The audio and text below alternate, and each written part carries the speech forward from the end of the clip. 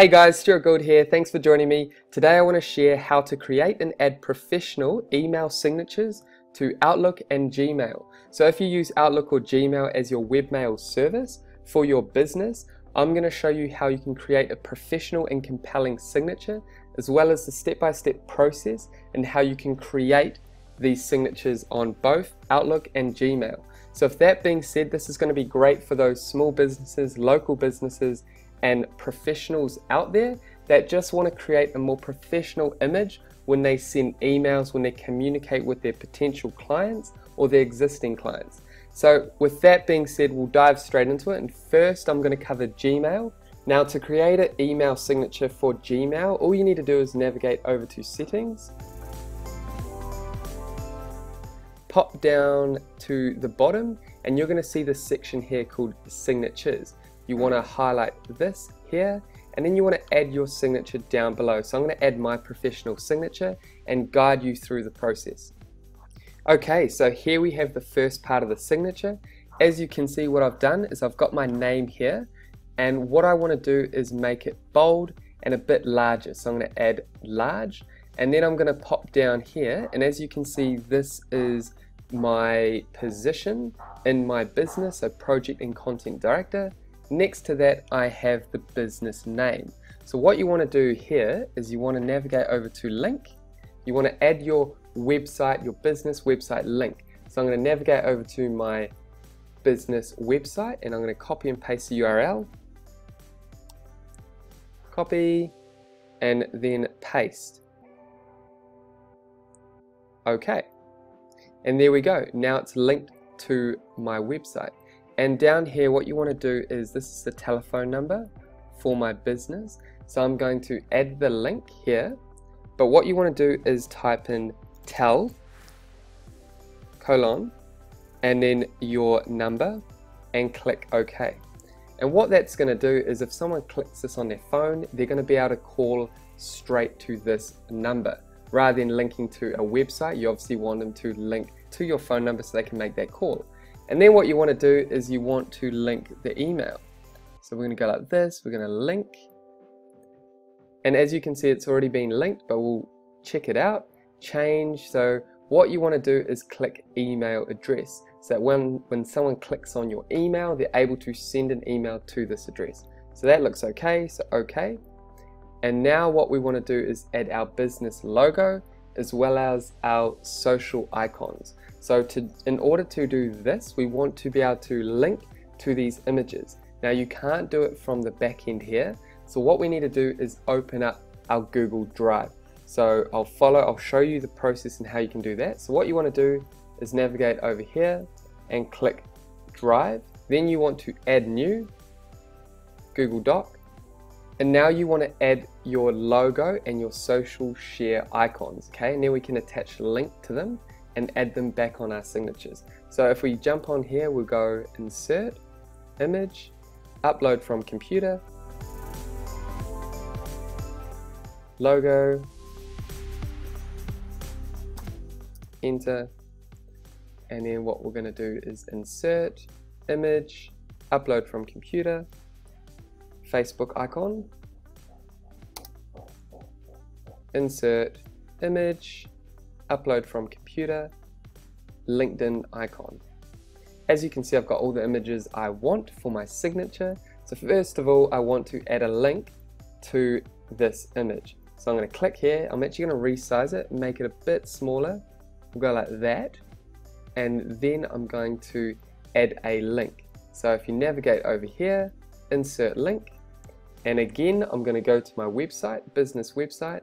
I'm going to copy this URL, jump back over to Google Docs and insert the link there and apply.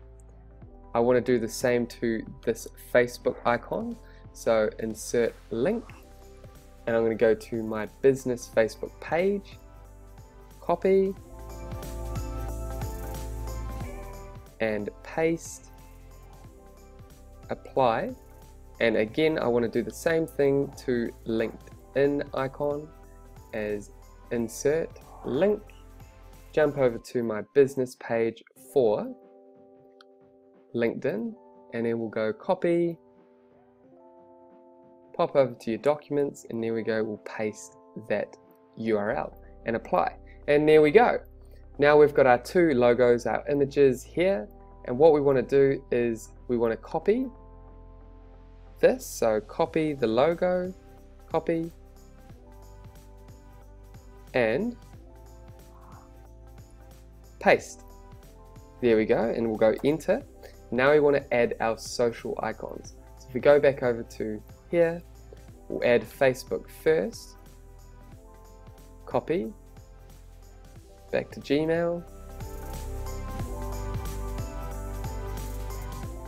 and paste. And then we'll go space, back over to our documents, and now let's copy the LinkedIn, copy, and paste. And there we go.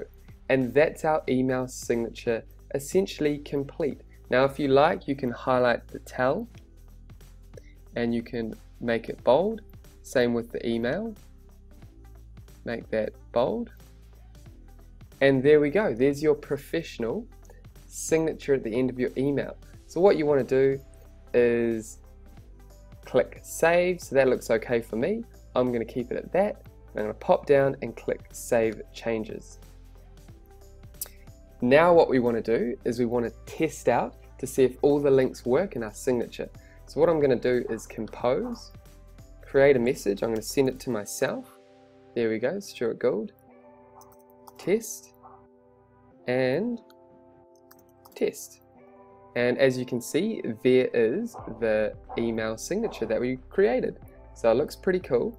And let's send that. And now let's check it out. So this would be me as the receiver. And now I'm going to click the link to the business website. And there you go. It sends me straight to my website. So I'm going to exit out of that. And now let's try the telephone. Now remember, this is going to pop up to some kind of call service that you have. Phone calls and hangouts. So there you go. Cancels. That works. Now the email. Let's try that. Again, look, it's going to send it to this email address. So we'll exit out of that. Now let's try the logo link to the business website. Again, that is working. Happy with that. And then now let's try our social icons. So let's try Facebook. Perfect, that's working. And now we'll exit out of that and we'll try the last one, which is LinkedIn. And as you can see, LinkedIn is working. So that's perfect. And there we have it. There's our email signature. It's professional, it's smart, it's easy to understand. It has external links so people can um, respond to the call to action, which could be making a phone call, sending an email, checking out your website, or following you on your social media. So as you can see, that's how you create an email signature on Gmail. Now what I'm going to show you how to do is do this exact same process, but on Outlook. So let's jump over to Outlook and I'll guide you through this exact same process and how you can create your email signature. So once you've logged on to your Outlook, Microsoft Outlook, what you need to do is pop over to settings, navigate down to view all Outlook settings, and then you want to go over to compose and reply, and here's your email signature that you want to create. So again, I'm going to create the same signature. Now, as you can see, there's my email signature, the written content. So if I pop over here, I want to make Stewart Gauld bold. So we're going to go bold and let's make it slightly bigger. Let's go 14. And then with Syndio, which is the website, we want to insert the link. Again, it's going to be my business website URL. So we're going to go copy, copy, back over to Outlook and paste. Okay. Again, we want to do the same to your phone number. Copy. And remember what we did last time, you want to go tel, colon, and then we want to go your number, tel, 0278102055. Once we've done that, okay. Again, the same thing with your email.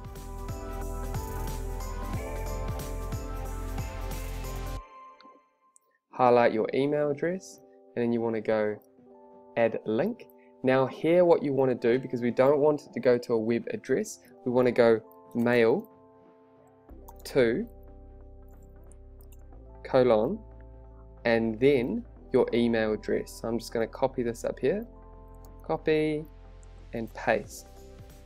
Okay, so mail to info because if we want, if someone clicks on this link, we want it to bring up their um, a new message to this email. We don't want them to go to a URL, we want them to send an email to this email address. So, okay, and there we go. We've created all the links. Again, I'm going to highlight this, tell, and email. There we go. Now what we want to do is add the images. Now there's no image button up here to insert images. So what you want to do is exactly what we did before, is pop over to your Gmail, your documents, and what you want to do is copy, like we did last time for Gmail, copy and paste.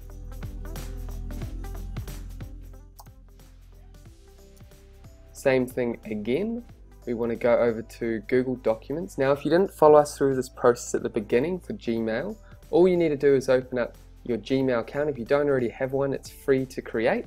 Jump over to um, your documents, which is on Google Drive, and then create a new document. And all you need to do is add the images you want on your signature, and then you can add the link to each of these images. So again, I'm going to copy the Facebook image back over to Outlook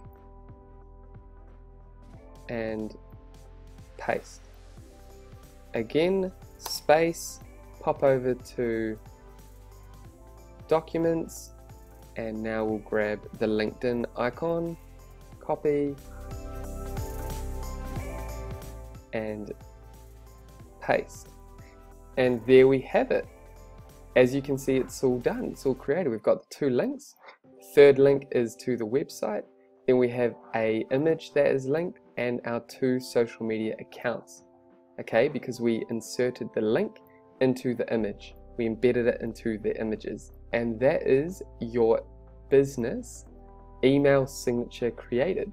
And I'm going to go save, exit, so new message, and there you go.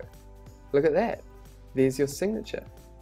And that's how you can create your business email signatures on Gmail and Outlook. So hopefully you got value from this video. Hopefully you can now put it into action and you can create your business signature on your email. So with that being said, I hope you got value from this. Um, if you enjoyed this video, if you did get value from this, then please subscribe, give us a thumbs up below, write a comment below. I'd love to hear from everyone. And yeah, that being said, we'll see you in the next video. See you later. Bye.